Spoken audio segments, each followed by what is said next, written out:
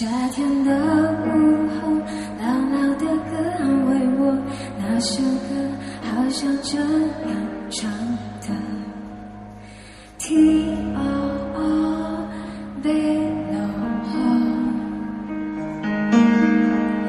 O，T O O